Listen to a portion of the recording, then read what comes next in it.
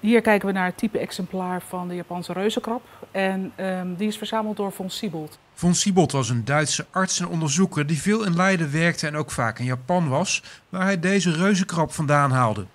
Voor de wetenschap is deze krab heel belangrijk geweest, omdat de soort daarmee beschreven kon worden omdat de krab zo kwetsbaar is, kwam hij nooit in de tentoonstelling van Naturalis. Je hebt hier een speciale constructie om die poten omhoog te houden. Anders, hij zakt anders in zijn, zijn eigen gewicht uh, onderuit. Maar nu is hij dus wel te zien in de nieuwe jubileumtentoonstelling van Naturalis.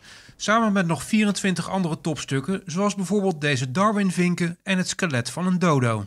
We wilden natuurlijk graag een dwarsdoorsnede door onze veel verschillende soorten collecties. We hebben natuurlijk zoogdieren en vogels, maar we hebben ook, ook mineralen en gedroogde planten en insecten. Daar wilden we allemaal iets van laten zien.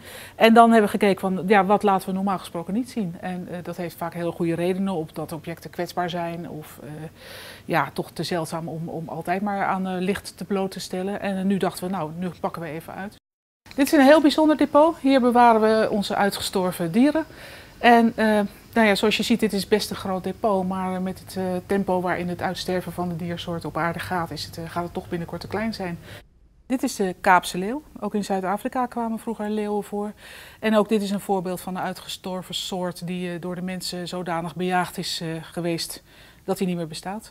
Waar staat het museum nu na die 200 jaar en wat voor ontwikkeling heeft het doorgemaakt? We zijn natuurlijk begonnen als echt als een verzameling, uh, een encyclopedische verzameling. Hè. De, de, wilde, men wilde toen graag uh, een dwarsdoorsnede van het, van het leven laten zien en zoveel streven naar compleetheid.